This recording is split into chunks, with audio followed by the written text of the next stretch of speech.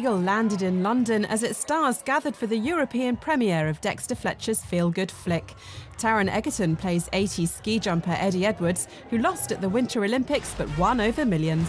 Britain hasn't had a ski jumper since 1929.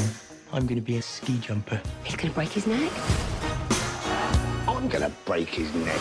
The crowd pleaser bends some of the facts to make his tale all the more inspiring. The time to start jumping is when you're five or six.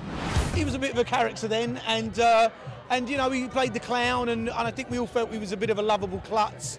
Uh, but what was really interesting to me as uh, reading the script was actually there's a much bigger story behind that. Anyone who gets to the Olympics, it's an amazing achievement by anyone's standard.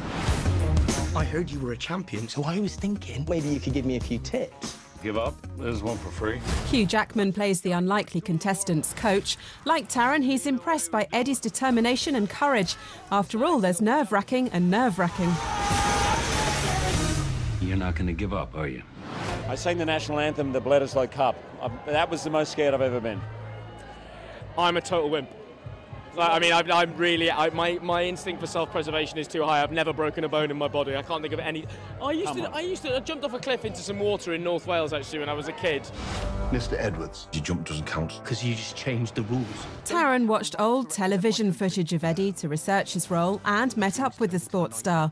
The Eagle is impressed with the results. British Olympic Association is trying to stop me. I have to do this. About a month before they started filming, I went down to Pinewood Studios, met with him for an afternoon. We had tea and biscuits, and we just had a chat about my life and about his life. Uh, and he just wanted to get my accent, my mannerisms, and he, he looked like me as well. He had the moustache, the jaw, the glasses, the haircut, and I thought, oh my god, it's like looking in a mirror.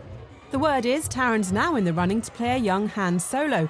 Not that he'll confirm anything. So I keep, so people keep telling me. Yeah. How do you feel about that? This is awkward, man, because I'm in the running for it too. Can we not talk about this? Sorry, man. Here we go. It's higher than you jumped before, faster than you gone before. You can break bones. You're lucky if you can walk again. As your coach, I think you're crazy.